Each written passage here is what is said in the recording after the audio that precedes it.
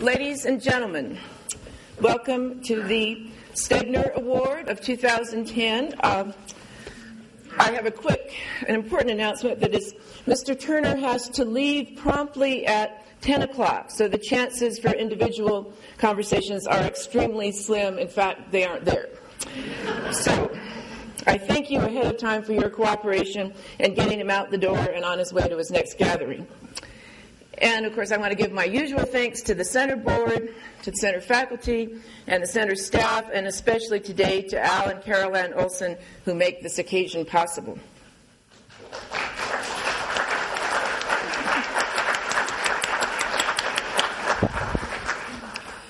The individuals who are famous to people of my age group are rarely the individuals who are famous to people who are 30 or 40 years younger.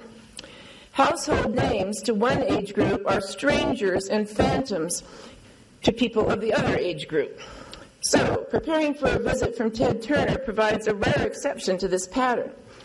If a person in her 50s says to a person in his early 20s, Ted Turner will be here to get the Center Stegner Award, we get to skip the part where the young person says, Who is that?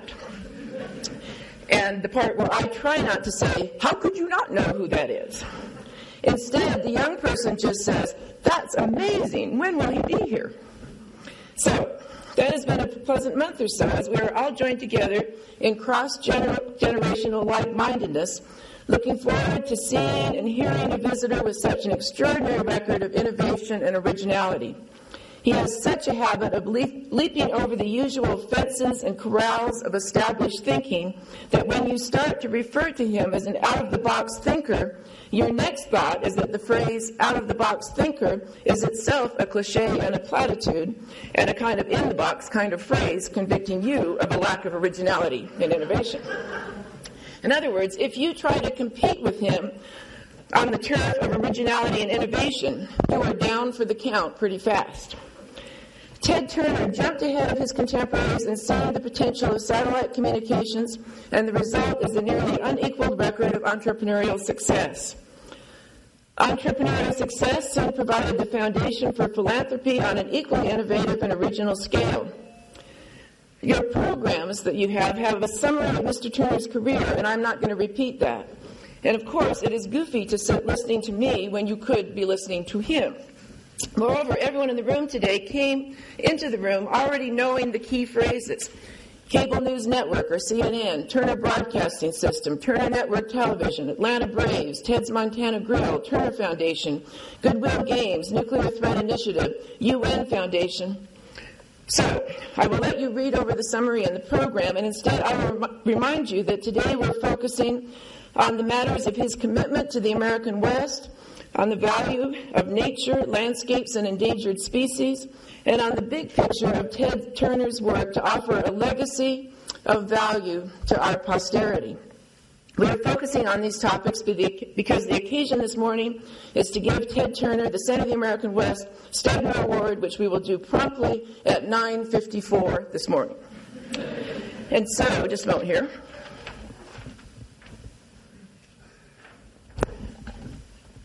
And so I will end this introduction in the unique manner of the Center of the American West with three limericks that I have composed, which are remarkable, I would even say extraordinary, in their brevity, clarity, and aim. The media mogul named Ted cannot be controlled or led. It seems to be working so far. sorry again. Oh, art. Oh, literary art. It's so strenuous, really. Um, okay, here we go again. The media mogul named Ted cannot be controlled or led. That magician of cable defies every label and turns every thought on its head.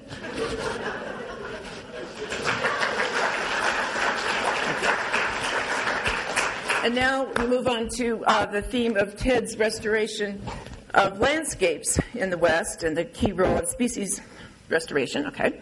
When Ted considered the West, he saw that the land needed rest. He set out to restore what had been there before with chutzpah, moxie, and zest.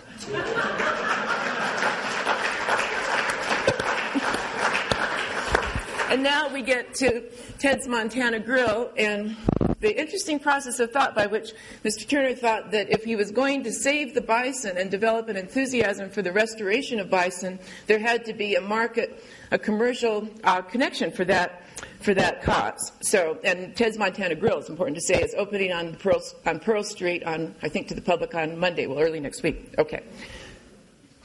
This is stirring and moving really here. Okay. The bison were starting to fade, but now they're often sauteed.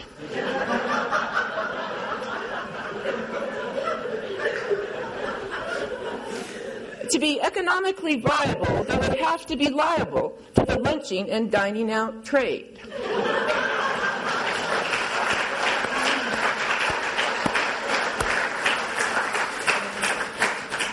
Ladies and gentlemen, the winner of the 2010 Center of the American West Stegner Award, Ted Turner.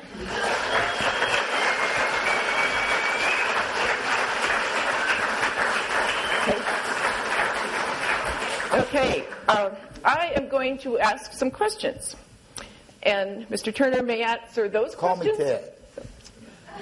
That's not the easiest thing on the planet, really, to pull off here. But Ted, I'm going to ask Ted some questions, and we'll see if those turn out to be the questions he wants to answer. But he will answer a question that will be very interesting, and you'll profit from the answer. So I would like uh, to quote from his wonderful book, Call Me Ted. Quote, I quickly fell in love with the beauty of the big sky country. Could you tell us that story with more detail, more background? Well, I grew up in the southeast in Georgia and South Carolina along the coast, and the ecosystem there uh, is totally different than out than out west. We, we get an average of about 50 inches of rainfall there. Lots of mosquitoes and ticks and red bugs or chiggers, and uh, I didn't like that. It's hot and humid in the in the summertime, real hot and real humid. And when I first came out west in my late 40s, I came to a convention. Well, I, I, there were a lot of meetings in Denver, and the cable industry was headquartered there. So I came out to Denver quite often, but I just stayed in the hotel and called on the cable operators, and then, then I flew back to Atlanta. I was working all the time. So I really hadn't had a chance to really see the, see the West or the Great Plains uh, and, and the Rocky Mountain front because I collected property in both along the Rocky Mountain front and out out in the Great Plains into uh, Kansas and Oklahoma and South Dakota. And but but but but first I, I got uh, a friend of mine bought a ranch in Wyoming and he invited me out to spend a, a couple of days with him and I did that and I went fly fishing. Uh, I fished a little bit, but mainly with uh, spinning tackle and bait casting tackle in the southeast for largemouth bass, and I like to fish. And I, I, but I went for the first time fly fishing in a mountain stream in, in the, on the edge of the Rockies. There a, happened to be the little Bighorn River which flows through Wyoming. I mean I just, uh, I don't think I caught any fish, but I just fell, fell in love with it, and I decided I wanted to buy a, a little ranch and uh, just to see and, and, and spend some time and see how, how, how attached I came to it. And I bought a little ranch. It was about a little over a thousand acres, had a mile of trout stream on it, and uh, wasn't a particularly good trout stream, but it was had a few trout in it. And uh, but but I, and I spent uh, several weeks that next summer out out in the uh, on the edge of the Rockies, and I just fell in love with it. And I said, and then, then I, that's where the bison had been, and I'd studied them all my life. I was, uh, when I was a little boy, I was fascinated by the natural world. I read all the books uh, starting when I was seven, eight years old, as soon as I could read. And uh, I was butterflies, and I, I, spent a lot of time outdoors uh, studying the animals, the birds, uh, the insects, uh, reptiles, you name it. I had a, a little zoo with frogs and turtles and anything I could lay my hands on. I was taking care of them, and um, so I, the, the whole thing. And then, but but but the bison intrigued me the most because it was the largest land animal in North America, and it was one that came within, you know, from 30 million down to 200 uh, that so close to extinction, and thank God they were, were saved. That, and I wanted to be part of that. And I started with three bison close to 30 years ago, and now I have 55,000. That's exponential growth. Talk about, I, I really know about population explosion. When all your cows have, have a, a baby pretty much every year, 85% calf crop, you're, um, you, you, you, can increase. And, and, and while I had the money, I, I was buying, the, I, I, bought those ranches, the two million acres and 15 ranches. Uh, as the bison herd was expanding, I had to have a place for them to go and, and eat and live. So I, I, I, bought these cattle ranches and converted them over to, uh, to bison. And uh, because I like bison and I don't like cattle particularly, and I, they, they just it's it's hard to love them both. You know, it's like it, it's it, it's anyway. anyway, I, I, I, finally stopped because I, it was either we were going to run out of land uh, or I was going to run out of money, and I ran out of money before we ran out of land for me to buy.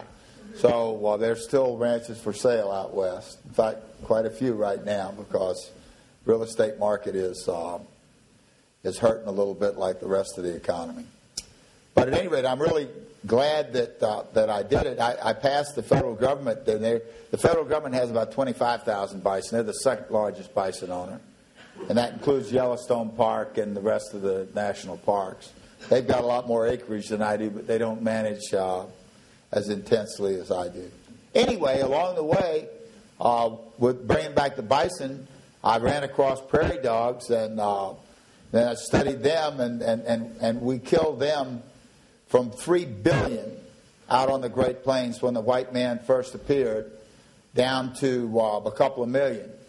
And uh, maybe that's a little high, but, but I'm talking about black-tailed prairie dogs. So I decided all I had on my all the ranches that I had bought was a few little remnant populations of a few hundred. And uh, we've intensely ma- managed uh, and encouraged prairie dogs too, and now we have about 250,000 of them on the on the ranches, and and that that's 10 percent of all the prairie dogs in the world, and and uh, we've got 11 percent of all the bison. So and then and, and we're bringing back black-footed ferrets, uh, which have to have large prairie dog colonies in order to live. The the uh, black-footed ferret came within. They thought it was extinct. They found a few, and they brought them in and, and raised them in captivity, and now there's several thousand of them mostly in captivity, but we're we're putting them back out, and we have large enough prairie dog colonies to uh, support uh, a couple of uh, of, of, of, of uh, herds of of uh, black-footed ferrets, and, and and the burrowing owls have reappeared. Burrowing owls can't burrow; uh, they have to use prairie dog burrows, and when there are no prairie dogs, there's no burrowing owls. And this probably doesn't hurt anybody's feelings, but uh, the, the, the, the, rattlesnakes uh, need prairie dog burrows too, and, and a prairie dog town will usually have lots of rattlesnakes too. They mainly eat grasshoppers, and if you, as long as you you're careful, and, and these prairie, prairie rattlers uh, aren't very poisonous. My son-in-law got bit by one, and he didn't even go to the doctor. I mean, they, their poison is very mild, uh, not like the eastern diamondback uh, that we have down in South Georgia and Florida, that, back where I come from, they'll kill you. I mean, but but but I passed uh, I passed rules on my property. We use on uh, two million acres, no pesticides whatsoever. We do use some herbicides. We have to use herbicides because the exotic weeds are so bad that in many instances they will completely take over take over your habitat and uh, turn it into a virtual desert as far as bison and the American animals are concerned. So we, we and, and, and I we don't kill we don't kill anything. Uh, we we do hunting legally uh, in the seasons and go strictly with uh, the rules, but but we only uh, we only kill surplus uh, animals and uh, for for sport and but we don't kill rattlesnakes unless I t- tell my employees that you know, if, if you're being threatened and you're cornered by, by, by a, a poisonous snake, you can kill it under those circumstances. But if it's just out there roaming around, leave them alone. And uh, that's just some of the things that uh, that we've done. But but the pesticides, the reason the songbirds are deteriorating and disappearing at such a rapid rate as they are, uh, is because of all the pesticides. We're killing the insects, and uh, they, that's what the birds eat. And if they don't have any insects, they starve to death. And uh, we should stop using it. And, and, and we do it on our lawns. I mean, we put this Pennington green on our lawns, and our dogs go out there and eat that grass with all that poison on it. And our grandchildren play in that grass and get cancer. That's the reason we've got an epidemic of cancer in this country, is all the chemicals that we pour on the country. Why do we do that? I mean, in Iowa, for instance, which is the richest farmland in the world, where we grow most of our corn, they use so many pesticides on, on, on that corn that the state of Iowa has almost no wildlife of any type whatsoever. It's an absolute biological desert.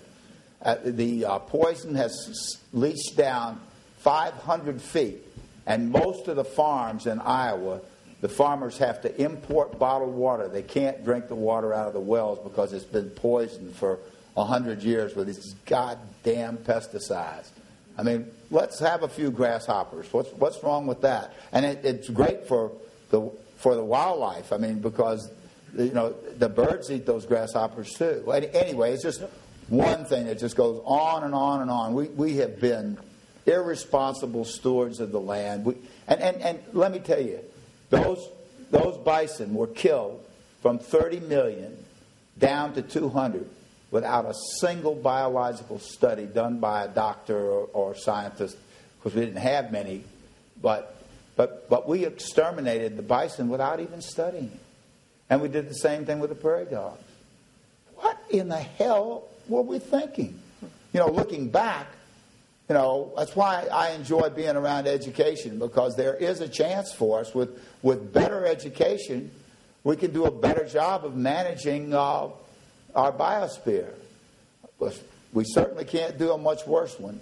And uh, but but what I try and do is is is, is be at the forefront and and, and and and and do things in a way that other people, young people learning about it, they're like you, the students uh, will will change the way that we're doing things because we can change. There's no we really have learned a lot. To consider it was only 200 years ago that we had the Industrial Revolution. Before that, for the millions of years of human history, three million years, we, uh, we, lived in, um, we lived in balance with nature pretty much.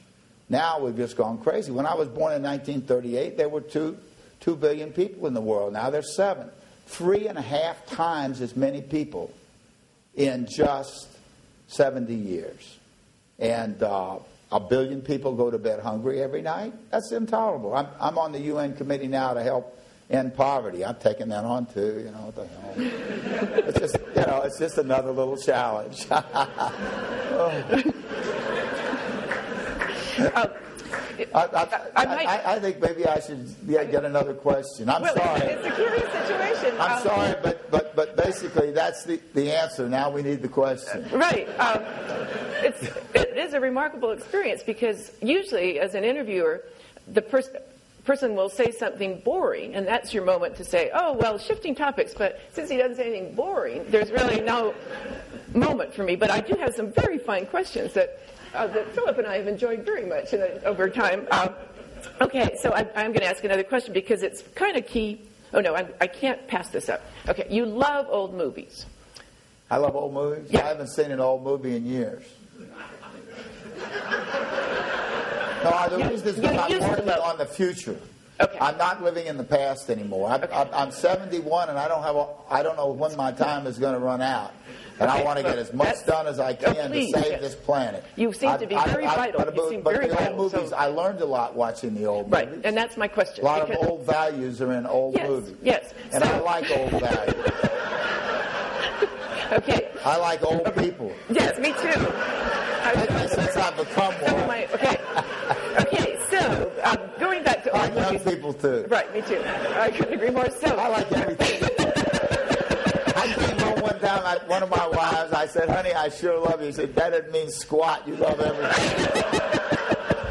Alrighty. Okay, I want to ask very quickly here. You love old movies, and in some ways, uh, some of your enterprises really rested on getting old movies out where other people who love them could see them. Gone with the Wind, is that a good movie? Is it a good movie? Uh-huh. Does a bear poop in the woods? There you are. Okay. But you never, you never refer to westerns, even though so much of Well, your I life. watched was- them, but I, but I, the, the, the westerns have too many damn cows in them. When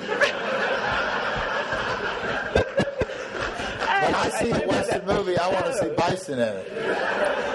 I want the real thing. Oh, clear to me now. I can't. I was I made a whole bunch of western movies. right. you uh, know, for television. That, that, that- it with, I made a, a series of six movies with the uh, American Indians that we got Indian uh, writers to do the writing, Indian actors. The whole thing was done by done by Indians. They were great. Geronimo and Crazy Horse and Broken Chain and Lakota Woman. Those were four of them. Okay, and now I have one more uh, very Western related question. Here's a quotation from Call Me Ted. I remember how excited I was when I went out there to the West as a landowner. I went into the local store and bought a couple of pairs of stiff jeans, Western boots, and a cowboy hat. Walking out of the store, I looked like a city slicker. I think I still had the price tag on my hat. I did. And I'm sure the locals on the street got a good laugh.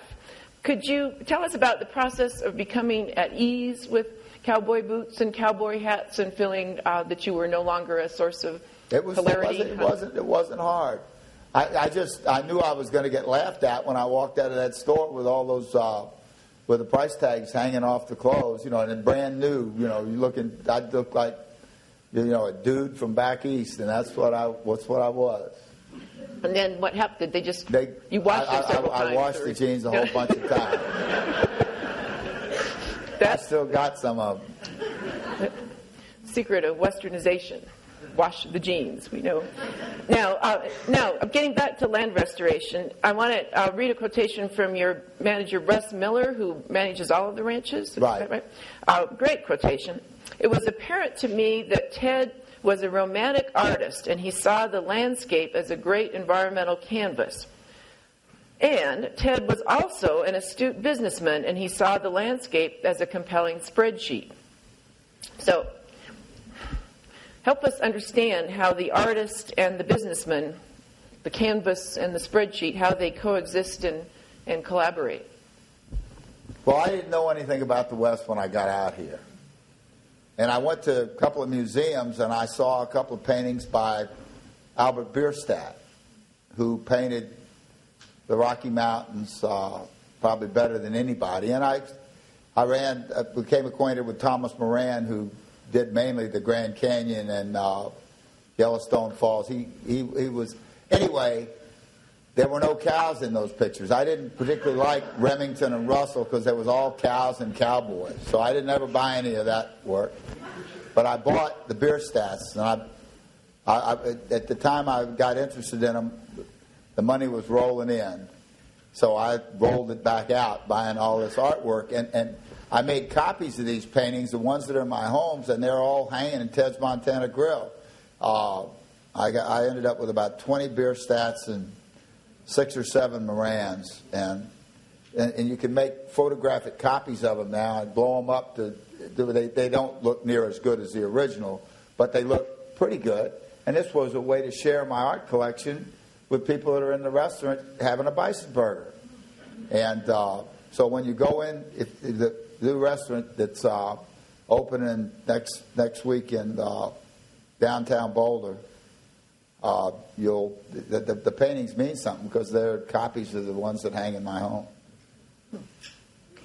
So, um, but the, how the businessman and the artist work together and how you manage the land so that, that it is beautiful but also economically Well, profitable do- or The, the, the, the operating a, the business uh, or just operating your life, you do it the same way, and, and that's why I wrote the book so I wouldn't have to answer these questions over and over again. Well, that didn't work. Did it? Doesn't seem to have worked out. Uh, okay, well, here are questions that do not that are not answered in the book, I think. That's why I wrote the other book, too. I haven't gotten Answer the questions that came up after the first one. No matter what you do, you're going to make mistakes. You know, and the, the main thing is is you want to correct them, correct the mistakes, Right. and get as close to perfect as you can, and, uh, and, and and and and work real hard to try and make this world a better, more intelligent, kinder, more equitable place for people and for all that little other critters that we share the the planet uh, planet with. I made up some bumper stickers. Well, I've, I've had made up two bumper stickers. One is the title of the next book, and it's "Save the Humans." The whole idea, of people say, "Let's save the humans." There's lots of humans. We don't need saving. Oh, yes, we do. We've got nuclear weapons, 10,000 of them pointed at each other on hair trigger alert. The push of a button, and 30 minutes later, everybody in the United States is dead. Um, that- Listen, we, we've still got those weapons. They're sitting there from the Cold War because we don't know what to do with them. I'm telling you, I'm disappointed in our Congress. I mean, I, I work with them all the time, but, uh, you know, they, they, they, they, can't agree about anything. We couldn't get a, a bill through, an energy bill. Uh, we, we've done nothing about global warming with the, with the Congress. I mean, I, it's just you know, we're going to sit here and burn ourselves up is what we're going to do, and it's going to happen in the next 20 years. Our, our children are going to be suffering like crazy from our inattention to what we need to be doing, and we better, you know, if I was a young person, I'd be screaming bloody murder. I'd be out there. I'd start my own Tea Party movement, you know, or maybe something else. I mean, a different name. I, I, I don't like that name. I just given that as an example of people that are fed up. Uh, Actually, my next question was really am I going. fed up? Uh, I bet you are. I'm mad as hell, and I'm not going to take it anymore. And you haven't for years, so why don't you start now? That's from an old movie called Network. I, I know that. Oh, okay, so I'm going to ask you. that, but it was about 30 years ago. uh, the, having brought up the matter that we're not doing so well in political terms, and we seem to be at a polarized stalemate in the West, That's and it. especially yes, That polarized stalemate. That's yeah, good. That could be a limerick too. I like that. Mate, you could rhyme Stop mate. polarized stalemate. That's, I, that's Let's all work together for a better America and a better world. What's wrong with that? well. You know, I don't. Okay, I'm, uh, I'm a human being first and a Democrat or Republican second. You know, let's do what's best for the best for our children and grandchildren. How about being good stewards of our world? You know, how about not ruining it? We don't have to. We don't have to ruin it. We can take good care of it. And that's what my life has been all dedicated to is to taking showing people how we can take care of it. If I could read this quote. Okay, you can. Uh, I'm quoting you. When meeting someone with a completely different background and contrasting point of view, I found it helpful to start out by discussing things you have in common. Going back to my high school debate days, and we've had several students tell us how much his sponsoring of the debate program for kids has meant to them. Uh, I've enjoyed discussing topics with people who don't necessarily share my opinions. The Center of the American West is that's our program. That's our statement of our program. How can we take that example and be more effective in taking what often turns out to be shouting Well, matches? Start out, start out by in our relations with other our, our friends and neighbors by treating them with respect, dignity, and friendliness, and keeping an open mind. And because that's what I did when I went to Russia the first time. I I decided I'd already been to Cuba and met Castro. I decided I was not going to sit by and let the Cold War keep going. It had already been going for 40 years, and uh, we hated each other, and we were calling them the evil empire. And that's the best way to get in a fight in the world is to say, walk into a bar in Colorado and say, I hate Colorado. This place sucks. The people are a bunch of jerks. The food's lousy, goddamn ugly. God, I mean, you're going to get whacked right in the kisseroo, right? I mean, you'll get crushed. And that's exactly what we were doing with the Russians. No wonder we were telling them they were a bunch of godless commies and everything. I mean, so I, I went over there and I didn't say anything bad. I just said, gee, I, what a beautiful country. What nice people. You know, They said, We are nice people? Nobody's ever called us nice people before. I said, Well, I'm doing it. I said, I'm over here to, and I had a KGB agent go with me. After I started, we got, got the first Goodwill Games organized. And they thought I was crazy. And, and he wanted to, he said, Ted, you know, I, I work in one of the government agencies. I said, I know that. And he said, I've been asked to ask you some questions. And I said, What is it? He said, What why are you being so nice to us? We, we, we're not used to this. I mean, what, what, do, you, what do you want? Why, why don't you just dump on us like everybody else does? You know, they, they felt inferiority complex because everybody was calling them godless commies all the time. And there are a lot of people in the United States that are godless, and some that are even commies or were. Uh, I said, "Well, let me tell you, Yuri." He, I, I, knew he was a KGB agent. I said, "I said I love my country and I love my children. I didn't have any grandchildren then. I said, I love my children and I love my country. And I've studied this situation. And if my children and my country are going to survive, we're going to have to learn to get, get along together. Because we have these nuclear weapons and we can blow each other to kingdom come in an hour. And I don't want that to happen. I want my children to grow up and be happy. And that means I've got to love your children and your country too. And the idea of bombing Moscow and St. Petersburg, I've been there. There's over 100 museums in St. Petersburg, more than any other city in the world. And they, have, they house the art uh, of the Renaissance and going all the way back with the czars. They had a lot of money. And, and, and they bought all this artwork and brought it back to uh, what was then Russia and the Soviet Union. I said, I don't want to destroy the artwork. And I don't want to destroy the Kremlin, and I don't want you destroying the Capitol building, the Washington Monument, and the Lincoln Memorial. I said, I, I, I love all this stuff. But I'm going to have to love you and love your children and in order for us to survive. And maybe we can get rid of the rid of the nuclear weapons and, and learn to live together like friends and neighbors, which we are on this little planet. I see everybody as a neighbor. I'm going to Africa next month. Going to spend two weeks totting around. I just got back from India. I went to Tiger Park. I, I, I'm going out and enjoying seeing the parts of the world now that I'm old, as well as doing my work on poverty and so forth. Um, I'm, I'm, I'm going out to enjoy the beauty of, of, the different cultures and the different music and the different different uh, religions and the different cultures. I mean, the world is just Fascinating. Fascinating. And let's just take care of it.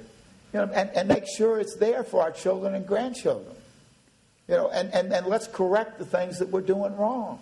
We know what they are. We've got global communications. 50 years ago, 70 years ago, half the people in the world were illiterate. Now 80% are literate. We still got 20% illiteracy. We, there's no excuse for that. But we could, we could do away with that in 10 years if we have a, a, a, a teaching program to teach the people that still can't read and write. They're mostly older, older folks. But, but we, we increased our education, our literacy, rate from 50% to 80% in our lifetime. That's worth, and, and in 1900, in 1900, None of the women in the world had equal rights with men. And today, half the women in the world do. It's a disgrace that only half the women in the world have equal rights with men. But still, when you go back 70 years and none did, that's pretty big progress. Now let's dedicate ourselves in the next 20 years to bringing, bringing women's equality to every woman in the world, where women have equal opportunities for jobs, equal opportunities for education, because there's nothing we can do that'll cut the population growth back faster than that. If, we, if women are educated and they have other opportunities, they won't stand for having seven or eight kids just pregnant all the goddamn time. It's a pain in the neck. So, too many children. We've got to stop doing the dumb things and start doing the smart things. And we know what it is. We've got global communications, too. I mean, there's. It, when, when Princess Diana was killed in that automobile accident, 99% of the people in the world knew about it in 24 hours. Hmm. Now, that's pretty good. And when the Japanese attacked Pearl Harbor, it took two weeks for people to find out. that uh, there's two more Turnerian ways that I'd like to talk about the uh, willingness to talk to your enemies, and I think I, I would reproach myself if I didn't have you speak about the total weirdness of your having a congenial lunch with Rupert Murdoch, with the notion that if Ted Turner and Rupert Murdoch can go to a amiable lunch, then anything is possible in the world. So could you? I invited him to Ted's Montana Grill. That's great. Food's so good that it's impossible to be a meanie when you're having them. Your attitude has to be one of generosity and friendship.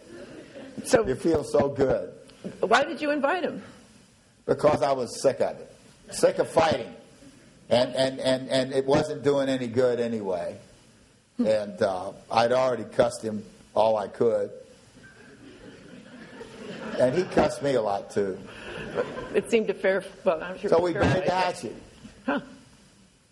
But I, I, I, I, I, I, I was already friends with Fidel Castro when I met him back in 1982. And if I could be friends with a godless commie leader, you know, I don't know why I couldn't, you know, tolerate Rupert Murdoch. And I think he's doing a good job with the Wall Street Journal, I have to say. yeah. Uh, a couple more uh, Turnerian spirit things. I did, you know, his news network is a little too right for me, but, but on the other hand, he's got the right to do it. The right wing should have a voice. I, I agree with that, even if I don't agree with what they say.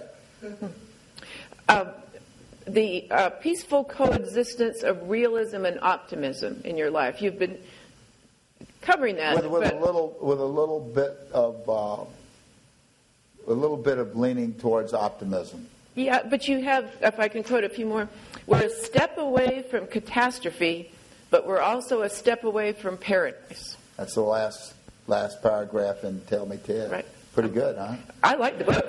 I like the book quite a bit. And I, I said, we, yes, we're the people that invented nuclear nuclear weapons and poison gas and bio warfare, but we also did the, are responsible for the Mona Lisa and Beethoven's Fifth Symphony. Not bad, huh? it wasn't bad. It wasn't bad. It's very Pretty good. beautiful. We're, then- we're responsible for a lot of beauty and a lot of love and a lot of goodness. And most people are good. For instance, I'll bet you there's not one person in this room that would like to see us bomb people. Then why don't we stop bombing them? We're the big bombers.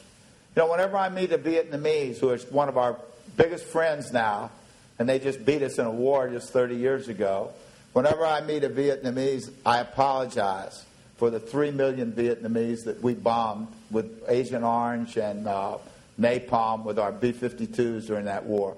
We, we lost 50,000 troops, but we killed 3 million people in Vietnam with, with all that stuff and gave them cancer with uh, that Agent Orange. That was chemical warfare. You know, and chemical warfare has been banned by the Geneva Convention. What in the hell were we doing pouring all those chemicals all over, killing all their trees and plants? Remember, that's what was designed to kill. Let me tell you something. You've got a pesticide that kills trees and plants. That's not going to be good for people that are walking around down there, or for monkeys or elephants or anything else. That you don't deliberately pour poison on other people unless you're a nut, you know. And why, why are we doing that? Why are we? What, what good are our aircrafters, aircraft carriers in Afghanistan? We spent trillions of dollars on them. The, Jap- the Chinese want some aircraft carriers. That we owe them two trillion dollars. Why don't we give them our aircraft carriers instead and write off the debt? You know, uh, and then they can have them. I don't know what they're going to do with them, you know. I mean, because bombing people is going to be out of fashion very soon. In fact, it already is out of fashion. They, the Israelis had to stop bombing Gaza because it was on the news, the CNN, it, and it looked so horrible. Everybody was turning against the, Jewish people for bombing these poor, uh, poor uh, uh, Palestinians that live in Gaza. You know, and they, they, and and they, they had to had to stop doing it, and we had to stop doing it over in Afghanistan because these insurgents they know that if they come out and fight in the open against all our uh, airplanes and uh, z- uh, drones and all this other sophisticated crap that we've got, that, that we're going to kill a lot of civilians if, if, if we if they stay in the houses. and in the little villages, and that's what they do. So whenever we bomb an insurgent, we kill a whole bunch of civilians and children and grandmothers, and they show that on the news. Well, it looks terrible. You know, nowadays, PR and trade, you know, when you go out bombing people in the world, you're bombing your customers. You know, I mean, that doesn't make sense. I mean, and, and we, we don't, the people in Boulder aren't trying to bomb Denver. You know, I mean, I mean, that would be terrible. I like that. and it would be even worse if Denver were to bomb yeah, Boulder. that would be very bad. Really bad. Really, really Smaller bad. town and you'd be blowing up your university. You know? Oh, That's why I want to stop bombing. It's uncivilized. Civilized people don't bomb each other. uh, on this realism and optimism thing, your, your comrade and a Coloradan, John Malone, I, I'll quote from him and then ask you where this trait came from that he describes. Ted's always had that kind of basic, almost childish logic about him that refuses to accept artificial impediments. I think one of his big secrets of success over the years, and that is that things that most of us would sit there and ponder, all these regulatory and legal reasons why we couldn't do something that you that we wanted to do, Ted would just say, "Oh hell, you can overcome those kinds of things," and he'd just do it. So, where did that trait come from? And you, Well, it came basically. It's it's it's the difference between winners and losers. Winners never quit, and losers never win, and quitters never win.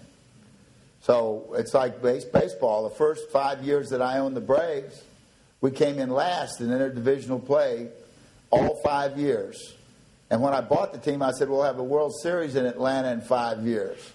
And in the fifth year, Furman Bisher, who was the sports editor, came to see me and he said, Turner, I was there five years ago when you bought the Braves. He said, You're in last place again this year and you've been last for the last five years. What, what do you have to say? I said, We're going to do like the Russians. We're going to start a new five year plan. We'll five. It took 18 years to get the World Series in Atlanta, but by God, I got it there. And before I was done, we won 14 years in a row to set a record that will that stands forever at all professional sports. No one has ever won their division 14 years consecutively in hockey and basketball, in football, or in baseball. So I went from the biggest loser to the biggest winner. Now, uh, and the reason is I just wouldn't quit. And I years ago I was underwriting Captain Cousteau's voyages, and I was on the Calypso with him and interviewing him. It was right after Reagan was elected president, and he just called the Soviet Union an evil empire, and I was a little discouraged. Uh, and I said to Captain Cousteau, I, I, I, Captain, I get, he said, Ted, even if we knew for sure that we were going to lose, he said, but which we don't. We don't know for sure. What else could men of good conscience do but fight to the very end? And I put that away. And whenever I tend to get discouraged about the population problem or bombing or poison gas or Agent Orange or whatever this stuff, the screw up of the day is, I decide, I think about that. I say, not going to get discouraged. And, and another cute one is uh, a guy that was running the Turner Foundation at the beginning would come into the room and he would hold his hand up and say, The situation is hopeless, but I could be wrong. you know, and, and I use the analogy, my analogy was, what, where are we and where are we headed? I said, it's, it's like a baseball game. It's the seventh inning and we're down by two runs. The game's not over. All we got to do is hold them right where they are and score three runs in the last two innings. And that's what we're behind the eight ball. We are behind. We need to catch up and catch up fast. That's why I'm here. Nobody's paying me to come here. I mean, I could have gotten some money if I'd I could have be working in the restaurant selling a burger or two. anyway, but that's that's basically the way I feel. I will not surrender. I've got a lot of flags in my flag bag. When you've got a sailboat, you've got you carry signal flags with you, you know, like SOS and that sort of thing in case you need them. But I, all the flags in my bag, I didn't have a white flag. There was no no surrender. That's what you put up when you surrender. And guess, speaking of surrendering, You know, because now we talk about wars. We win the war. Did we win the war in Iraq? Hell no. But let me tell you, you know who the last person that surrendered was? The last country that surrendered? Japan in 1945 hmm. on the battleship Missouri. Since then, the, the Korean War never ended. It's still going on. The, the Vietnam War never ended. You know, we just pulled out. I mean, we, we, nobody surrendered. We haven't won a war in 70 years since World War II, to tell you the truth. Winning means the other t- guys surrender, right? Let's get it straight.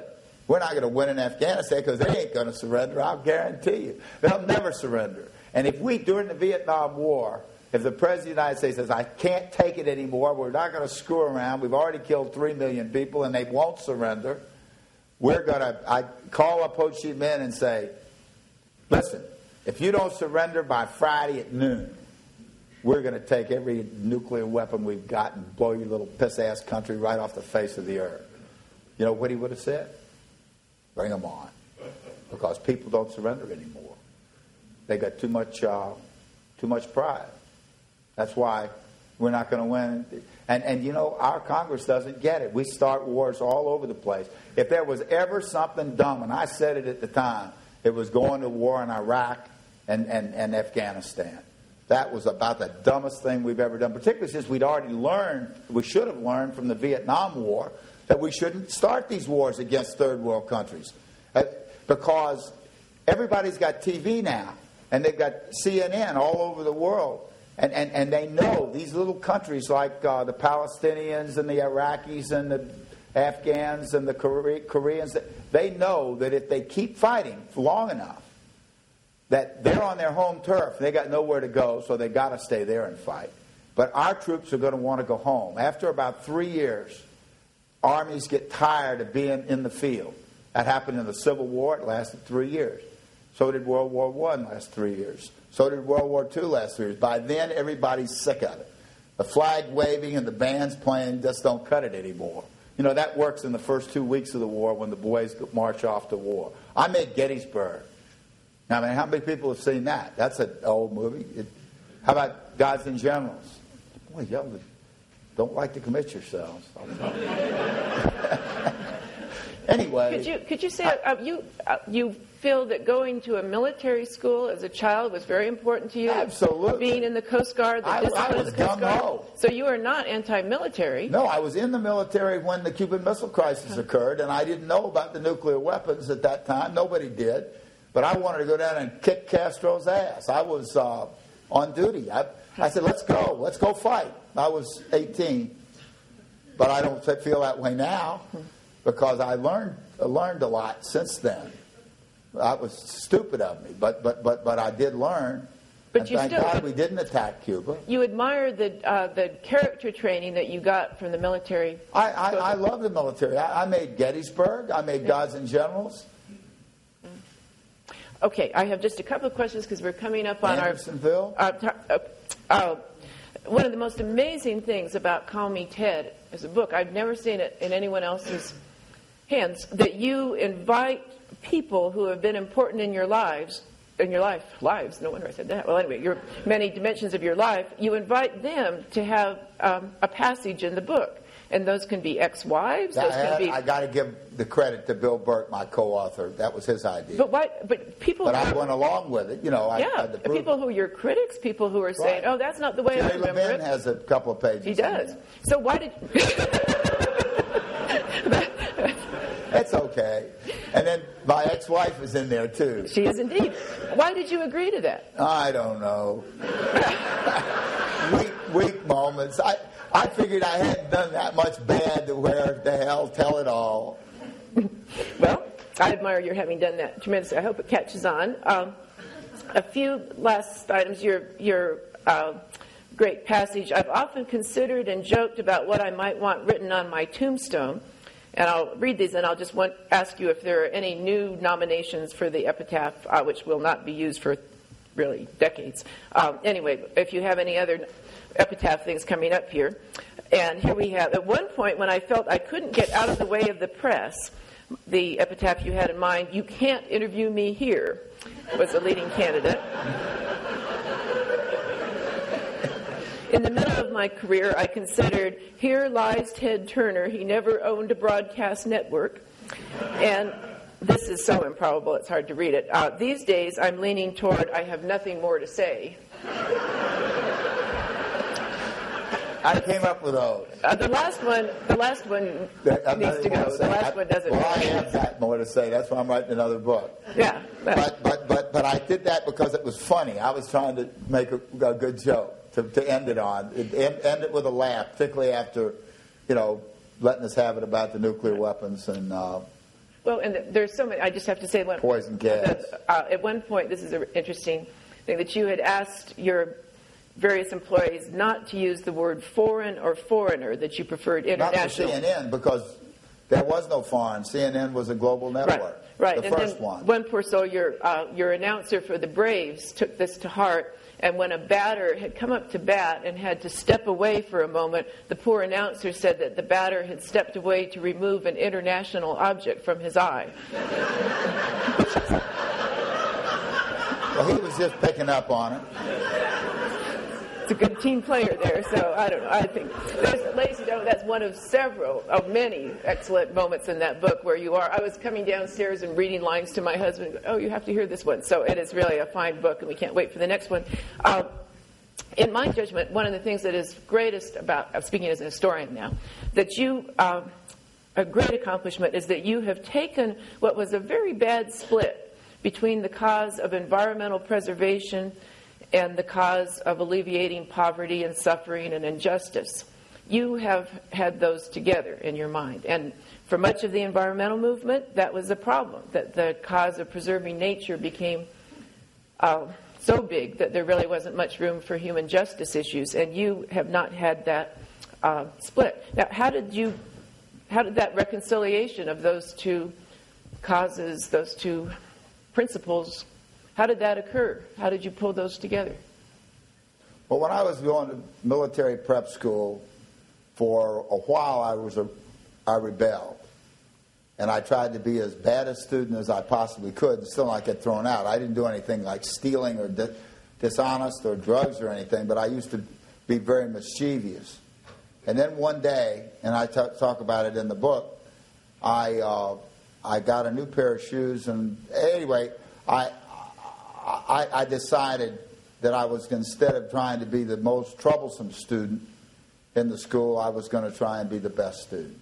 And that means best in every way. Best of, and I got the, the medal, the gold medal for uh, the neatest cadet uh, by my junior year. And uh, so what I want to see us be is our best in every area. You know, as close to perfection as you can be good uh, with other people, good with the environment, good with our friends, good with our neighbors, good with your family. I mean, I've got five children. I, they, the, er, one was born 40 years ago when the population was only 3 billion. I wouldn't have so many if I was doing it again. I wouldn't. But you can't just go out and shoot them, you know. We may have to do that before it's over. Um, and that would be a real great tragedy. But that's what they did in Rwanda. The million people that were killed in the genocide was mainly caused by overpopulation and not enough room. People just didn't have enough room. Rwanda is one of the smallest countries in Africa. It is the smallest country, uh, I think. But it's uh, one of the most overpopulated. It's very hilly. I've been there. I went and looked at the gorillas, and I, am good friends with Paul Kagame, the president of, of Rwanda, who stopped the genocide. And, uh, oh, I mean, he's had some great ideas. I mean, he's being, he gets criticized for uh, pushing democracy pretty hard, but he, he outlawed plastic bags in Rwanda three years ago. Completely. Can't sell them. And, uh, and, and, and then that worked so well that he made a law that uh, on the third Saturday of each month, from 8 to 11, the entire country, including him and the cabinet, of his cabinet, go out and pick up trash on the public roads. So Rwanda is is clean. You drive around it, it's as clean as Switzerland, which is very rare for an African or Arab country. They're usually a lot of trash out the windows, you know. But uh, so anyway, I don't even know what what the point was. Oh, well, but, but do everything right. Right. Try to do everything right. Why not?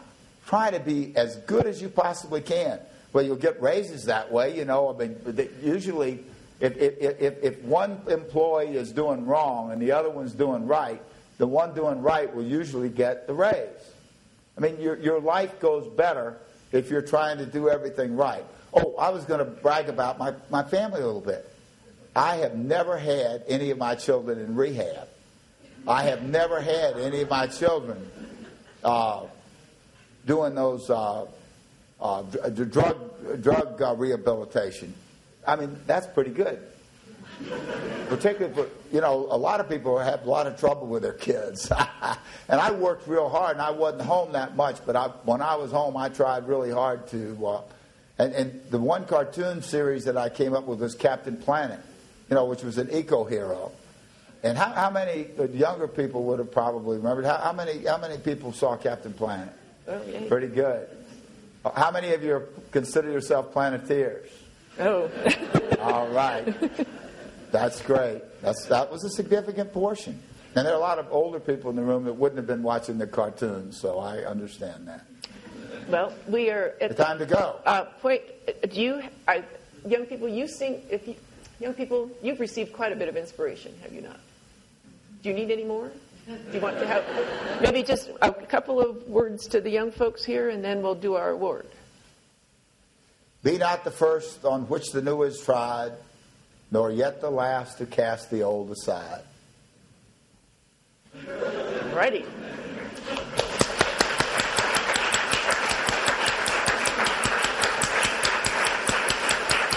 If I would have followed that advice, I wouldn't have done CNN. So it's just a bunch of smoke. Okay, thank okay. you. Oh, no, no, no, stay there. Stay there. Okay, we're going to do this award. Oh. Okay. So uh, that's what you're here for. Could it be cash? cash. I'm only kidding. Yeah, I, I, thought that might be the case. So, okay, uh, I would like to have the board members, current and past of the Center of the American West, come down, and the staff of the Center of the American West, and form a beautiful arc, a rainbow of board members and staff members back there. Uh, students doing the certificate in Western American Studies with the center, could you be part of that great band? And uh, center faculty, Center of the American West faculty. And oh, and former Stegner Award winners, because we have several, several in the room. So if you would form a lovely band of uh, enthusiasts there.